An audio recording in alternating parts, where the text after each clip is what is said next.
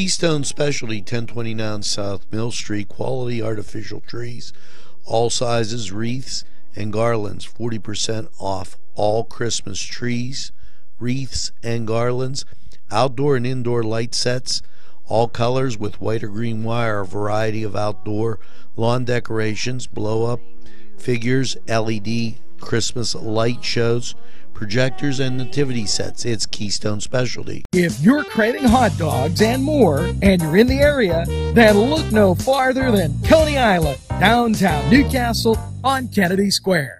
Chuck Tanner would be proud of the restaurant that bears his name. Chuck Tanner's Restaurant, owned and operated by the Papazikas family, would love for you to be part of a New Castle tradition. Come enjoy the great breakfast, super lunch, and second to none dinner choices from their Italian, Mediterranean, and American cuisine. You can relax with a wonderful atmosphere and something from the bar. If you're planning an event, ask about their banquet facility. Tanner's Restaurant is located at 2305 Wilmington Road in Neshannock Township. Call 724 658 5900. Newswatch rolls on.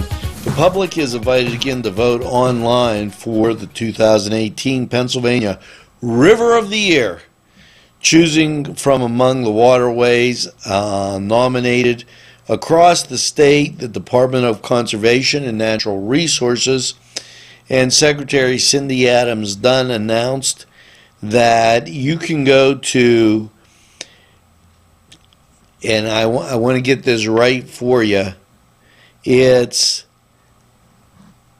P A R I V E R P A River of the Year dot org.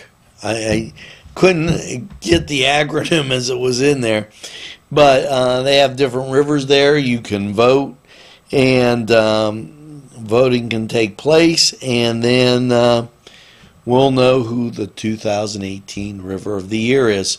So make sure you go to pariveroftheyear.org and uh, cast your vote. We'll be right back in a flash.